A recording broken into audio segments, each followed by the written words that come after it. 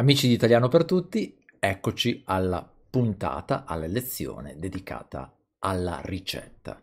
E siamo in realtà, come abbiamo già visto precedentemente, alla, eh, arrivati all'ultima ricetta eh, per, diciamo per questa serie, perché come sapete le ricette erano legate una ad una ad ogni regione italiana. Abbiamo visto l'ultima regione eh, in elenco che era la Sardegna e questa è la ricetta dedicata alla regione Sardegna. Parliamo delle seadas, che sono un dolce e vediamo come si prepara questo dolce sardo, molto famoso in Sardegna, magari non così tanto famoso in Italia, ma comunque conosciuto eh, però squisito veramente. Sono stato in Sardegna e le ho provate. Allora, un modo molto gradevole per imparare la lingua e la cultura italiane è conoscere le ricette e i piatti tradizionali dell'Italia. In questo video vediamo la preparazione di uno dei piatti sardi più conosciuti, le seadas o sebadas. Si tratta di un dolce molto gustoso che unisce il sapore intenso del formaggio alla fragranza delicata del miele. Sono eh, preparate, sono queste che vedete qui sopra, eh, vediamo quali sono gli ingredienti uno ad uno. Allora, gli ingredienti sono per la pasta 150 grammi di semola di grano duro, e 150 g di farina 00 oppure 300 g di farina se non la trovate di semola 50 g di strutto. Se non lo gradite sostituitelo con il burro. Un pizzico di sale acqua per l'impasto.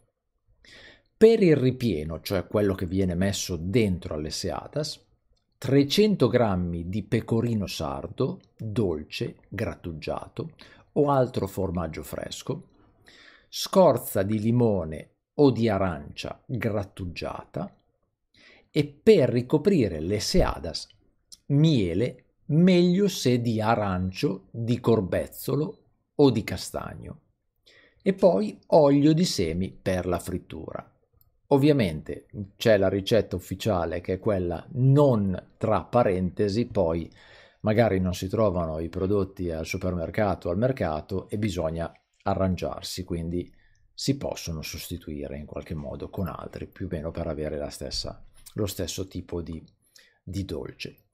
Andiamo alla preparazione del dolce. La preparazione.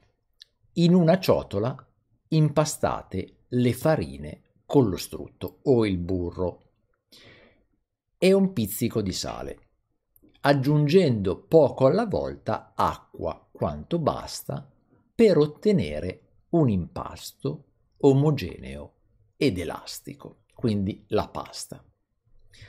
Lasciate riposare l'impasto per mezz'ora, poi stendetelo in una sfoglia alta circa mezzo centimetro, quindi fate una bella sfoglia, ritagliate dei cerchi di, plastica, di, di pasta, non di plastica, di pasta di circa 10 centimetri di diametro, quindi più o meno 10 centimetri di diametro, misura a vostra scelta, perché questo poi è la, diciamo, il, il corpo del dolce.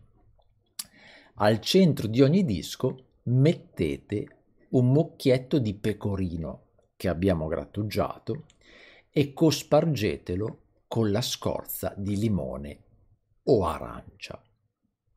Quindi questo è il ripieno della Seadas. Ricoprite ogni disco di pasta con un altro disco, quindi chiudete con due dischi schiacciandolo bene per chiudere i bordi della, del dolce.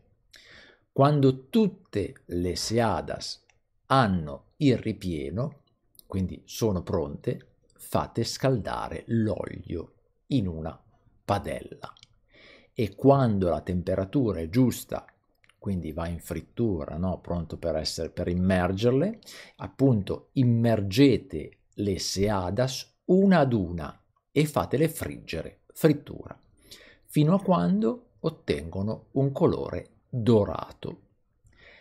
Estraete le seadas dall'olio, fatele asciugare rapidamente su una carta assorbente, quindi eliminate l'olio in più, mettetele nel piatto e cospargetele con abbondante miele che abbiamo preparato prima dei gusti eh, opportuni.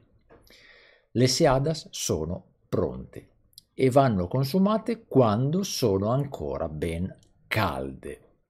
Allora, non, non, l'ho provato, è molto buono. Questo dolce mi ricorda eh, un po' quello che eh, solitamente in Italia si usa per carnevale, siamo quasi in quel periodo, che sono le, le bugie. Le bugie di carnevale sono questa pasta croccante che viene fritta, però non hanno, hanno più che altro molto zucchero, ma non hanno il ripieno di pecorino questo tipo di ricetta mi ricorda un po' quella che diciamo un po' più diffusa in Italia. Le seade sono abbastanza diffuse ma sono specifiche della Sardegna.